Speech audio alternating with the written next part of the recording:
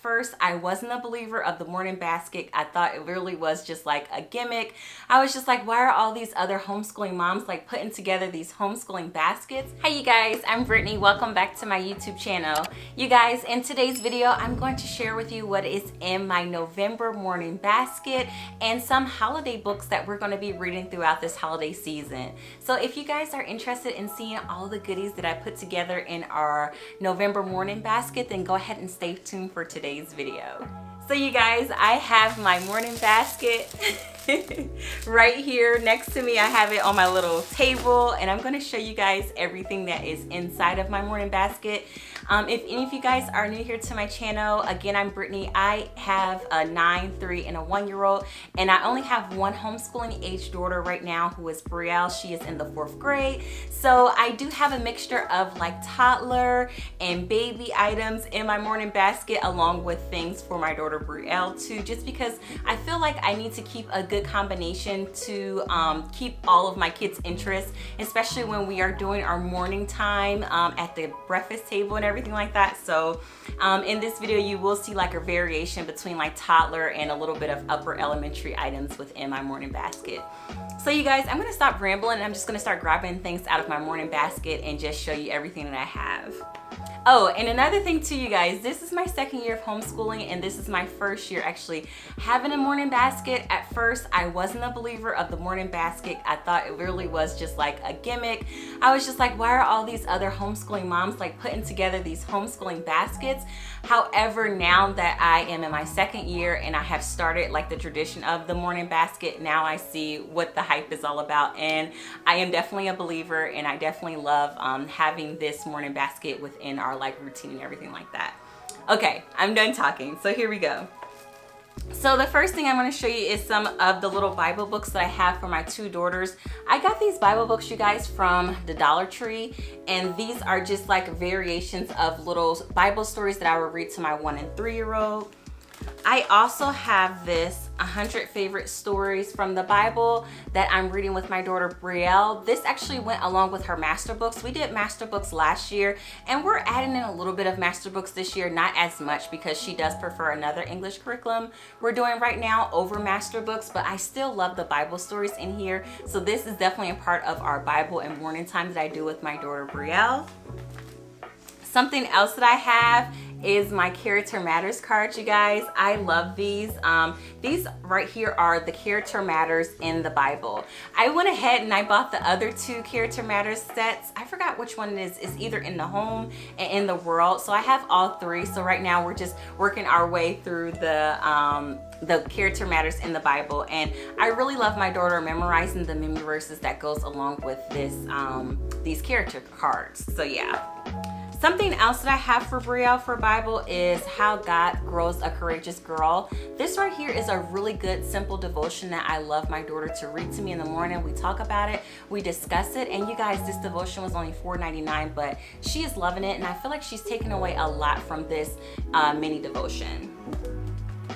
Now, along with Bible, I do have my daughter, her um, primary Sabbath school lesson that we read. I just print these off on gracelink.com uh, just because I don't have the actual physical copy. So I just use the uh, free version that they have online and I print off our lessons for each week and I just go ahead and I put it like in this little uh, mini pocket. So I will go ahead and read over Brielle's Sabbath school lesson each week and she definitely loves when we do that together.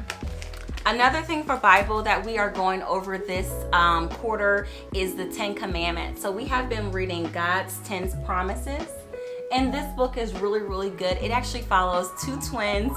Uh, their names are Caitlin and Cameron as their parents are talking to them about God's 10 promises or the 10 commandments. And they're learning a lot of life valuable lessons. At the end of each of these little devotionals, they do have like a parent portion where we can do some arts activities. We can do like um, discussion questions. It has like a lot of things that we can do throughout the week. However, right now in the season that I am, that I am in, we don't do all like the arts and crafts and the things that is incorporated in this devotion, but I do do the discussion questions with Brielle. So we read this one about twice a week. We read the um, 100 favorite Bible stories twice a week, and then I read her her Sabbath school lesson as well. So we have like a good combination of like as far as Bible and morning devotions just because I want to mix it up. I don't want it to become too boring and I still want her to be able to learn different parts about the Bible and uh, things like that. So I hope she's enjoying like the little selection that I have as far as Bible time. Along with that, I do have the um, my toddlers. I have their Sabbath school lesson. They're in the beginner Sabbath school lesson. That's for ages one to three. And uh, right now we are actually doing, I went ahead and I skipped ahead. We are actually learning Angel sings to the shepherd. So right now I'm actually already going over uh, Christ's birth story with my toddlers, my one and three year old, just because when it comes to Christmas time, I do want them to have the memory verse memorized and I do want them to know the Bible story once we get into Christmas. So when I start incorporating all of our other read alouds, it won't be just their first time actually being introduced to it. They will actually um, know the story because we actually have gone over the story starting in November. So yeah, I went ahead and I printed off the um, Bible story for them and they've really been enjoying it. If you guys are interested in seeing like how I do my morning time with my toddlers and with my nine-year-old, I did make a day in a life video and I'm gonna go ahead and put it up in the iCards and in my description box below so you can kind of see like how I do Bible with all of them. It's very chaotic, but I feel like they're still getting something and that's all that matters. Now into like the actual fall books that I have. I have a whole shelf downstairs of all of the fall books that we have been already diving into. However, these are some more like books that I want to get into deeper throughout this um, November month and this November season. So our read aloud is actually Little House on the Prairie. And you guys, um, this read aloud, I'm not gonna lie, it was very surprising to me to hear the language that um, the, the, the Ma and the Pa refer to the indigenous people in this book. And I do understand why this book is no longer awarded like in the Newbery Award for this particular one in Little House on the Prairie just because the language of indigenous people is pretty, pretty bad in this book. However, instead of me just tossing the book and us not reading this, I feel like it's a good learning opportunity for me and for my daughter Brielle for us to uh, really talk and have deep conversations about those different things. And I really still have been enjoying this series. Um, along with it I do have um, Squanto's journey that we're going to be reading. And I do like for her to be able to get um, a variety of perspectives when it comes to indigenous uh, people and it comes to the Native Americans. And I really like for her to read this book still because it's given it's um, helping her with these like critical thinking skills. So she can take the information and evaluate it for herself. And I really love that. So I'm happy to be reading Little House on the Prairie still um, Squanto's Journey and I also have What Was the First Thanksgiving? So these are going to be like our historical fiction and some of our historical reads we're going to be doing for the month of November and I really hope she enjoys it. We haven't really dived in deep into American history. We're going to start American history in January and I didn't want to wait to go ahead and bring about um, talking about the first Thanksgiving and things like that uh, because we haven't officially started American history. Um, I feel like this is going to be a good like um, teaser for when we started in January. We're actually going to be doing American history from the beautiful and I'm really excited about it. I have everything all prepared for us to get started on that in January. So yeah, these are some Thanksgiving read alouds we're going to be re continuously reading throughout this month. Now for my toddlers, I have We're Going on a Leaf Hunt. And my daughter, she actually is my three-year-old. She's actually in speech therapy. And this is one of the books that we're going over in her speech therapy session. And she's actually learning a lot of prepositions through this book. And I'm so excited to continuously read this book because it's so stinking cute. Um, I love just the rhyme and the repetition in this book. And my daughter Alana, who is one, she also enjoys this one as well. So this is in our morning basket for us to continuously read and for us to be prepared when we do speech on Wednesdays. Now something else for my three-year-old, I do have I do have her um, speech flashcards and these ones in particular are her verb speech flashcards. I'm going to show you guys a couple of them. These pretty much just have different pictures and I'm talking about the verb phrase so I will ask Leia what is the little girl doing and my response that I'm looking for for her to say is blowing and each one of the cards are really really pretty high contrast cards and it has different sayings on the front and the back like this one is clapping so we go over a few of these in the morning um, just so I can, even though she only does speech once a week, I still want to continuously um, give her some form of at-home speech. So this is another way we incorporate speech throughout our week is using these verb flashcards. Now something else for Leia is we are working on letter sounds and I have my little flashcards right here of my high contrast lowercase letters so I can uh, go over her letter sounds with her. She actually learned all of her letter sounds within three weeks and I'm really proud of her. So we are continuously working on our letter sounds and that is in our morning basket as well. Now, of course, I know this is cliche, but I jumped on a bandwagon and I have I went ahead and I purchased Sing a Song of Seasons and you guys, I really don't regret this. Before I purchased it, I did check it out at my local library and once I seen the inside, I just had to have it and it's really been beautiful reading these poems. We don't get a chance to read every single poem every single day. Um, sometimes my daughter wants to cram in all of them, but I just tell her, Brie, you know, that's the beauty of this book is that we can come back and read it each and every year and we will see like a different poem. So I have really been enjoying Sing a Song of Seasons in our morning basket and this is has been really great. It's been a great addition. Um, it is worth the hype, you guys. so yeah.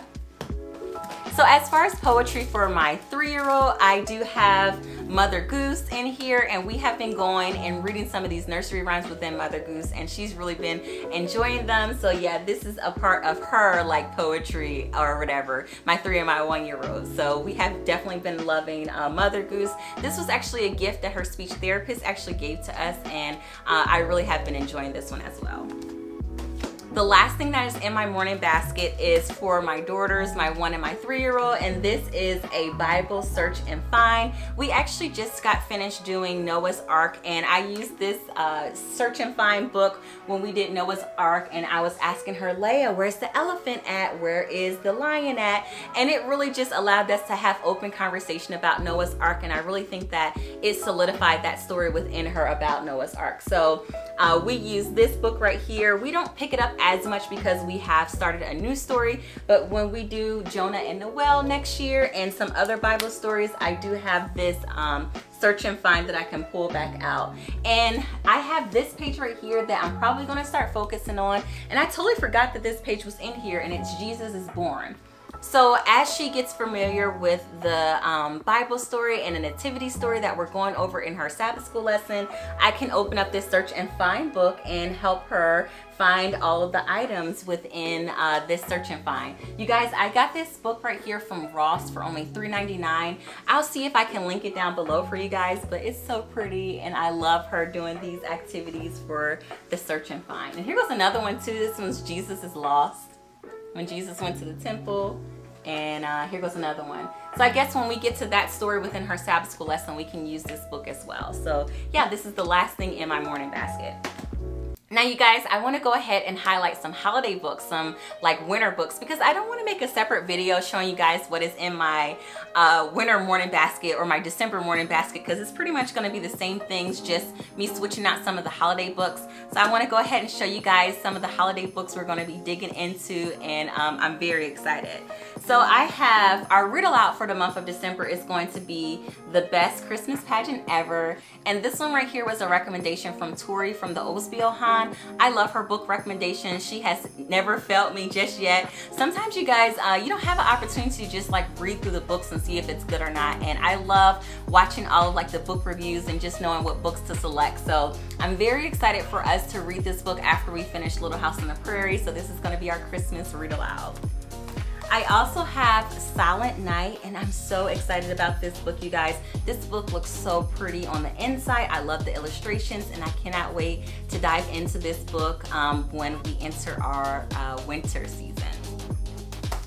I also have two other books. I showed these books in one of my book hauls, but I just want to show it to you guys again, which is Grace at Christmas this book looks so amazing. Um, I love the illustrations in this book, Grace at Christmas, and I cannot wait to read this one with my girls. We actually read Boundless Grace, a part of our Africa unit study, because within that book, she actually took a trip to Africa to visit her father. So um, we are reading some more of Grace's series. You guys, hopefully I can collect all of them. This right here is actually an old library book that I was able to purchase off of thrift books. And um, yeah, I love finding old books. This book actually came from, came all the way from Texas. So uh, it's really, really uh, cool to be able to have like old library books. So yeah. Another Christmas book that I have is called The All I Ever Wanted Christmas Doll. And this book right here actually was a recommendation from Amber O'Neal Johnston at the Heritage Mom blog. She actually has like a whole blog post of Christmas books that she recommends. And I went ahead and I selected this one off of her list and I'm so excited for us to read it. I have not read it yet, so I cannot tell you guys like if it's good or whatever it may be. I will come back to you guys later and let you know how it is, but I'm so excited to read this one. Now I did order three more Christmas books and I don't have them this just yet, but I do want to tell you guys the titles of them. And the first Christmas book that I have, I'll go ahead and put a picture of them that I'm waiting to come and I'm so excited is um, Pick a Pine Tree is a book that I'm waiting for that I ordered. I also went ahead and I ordered Goodbye Autumn and Hello Winter because I have uh, Goodbye Summer, Hello Autumn, and my daughters loved it. So I figured just to go ahead and continue along with that collection. So I'm very excited to get that one. The last book that I ordered from Amazon that is coming for my um, Christmas books or my winter books is called There's a Lion in My Nativity. And I'm so excited to read that one. It just looks so cool. I believe it's from the same author that written the book The Garden, the Cross, The Garden and the Cross, that series. So I'm very excited for us to add that along to our winter collection. So you guys, this is my November morning basket and all of our holiday books we're gonna be reading throughout the course of winter. I really hope you guys enjoy watching this video and just seeing everything I have in my morning basket and everything like that. You guys, as always, please don't forget to comment, like, and subscribe, and I look forward to seeing everybody in my next one. Bye.